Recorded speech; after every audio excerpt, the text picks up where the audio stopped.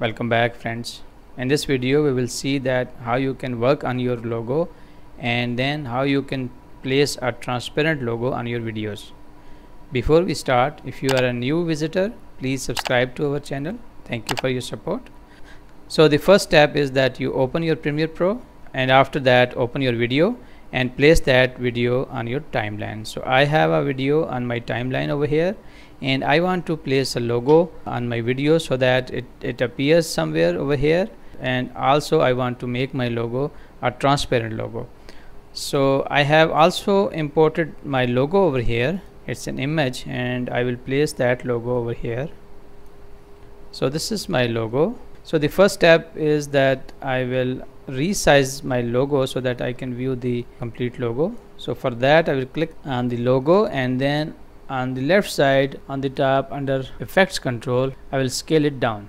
So currently it is 100% so if I move down to let's say that's fine for now so in my logo the outer space is extra and I want to remove this space first of all and I want to keep only this circle and whatever is within this circle. For that what I will do is I will click on the logo again and on the left side if you look at uh, under effect controls if I move down we have the option of opacity.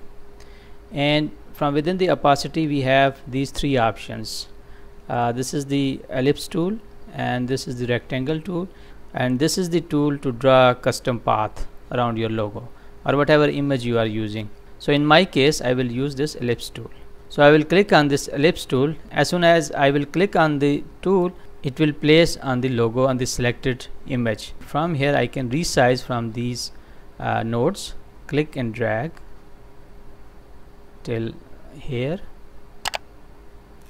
And then from here if I drag down to go to for example this much and from here let's go to here and from here let's go to this much. So from the right side we can adjust little bit from the left side as well. So now the logo is in the shape which I I want to have. Now we need to resize the logo in which size I want on my video.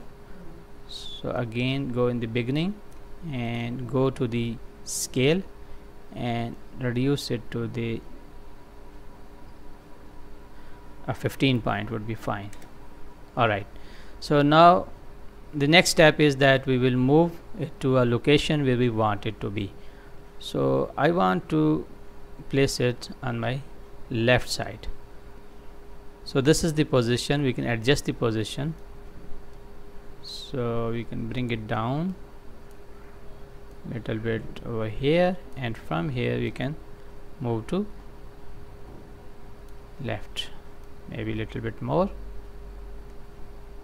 All right. This place is fine and from here the next step is to is to reduce the opacity so that it is it looks transparent. So for now if I move this on my entire video from starting from this to this point. So now we can see that it is showing like that. Now we can easily reduce the opacity mask opacity from here. This currently it is 100% under the opacity again we use the ellipse tool and in the bottom in the mask section we can we can reduce from here the opacity. So click here and drag down to reduce the opacity. Maybe this is 10% is, is fine if I click and write 10 and enter. And this is mask feather. Uh, we can increase a little bit to smoothen the edges. Alright this is this looks okay. So now let's see how it looks. So if I play my video see this looks okay alright in some parts where there is a white area it will be more transparent. If you want you can resize it a little bit. Again it is currently on a 10 point but uh, 15 point but we can move to 10 and then we can reposition it. Alright now it looks better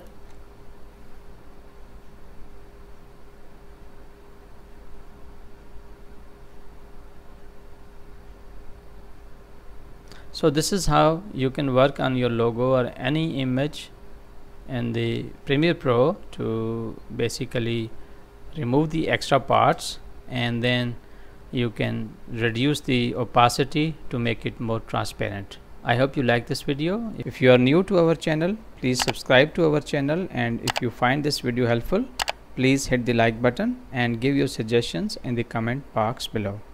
Thank you for your support.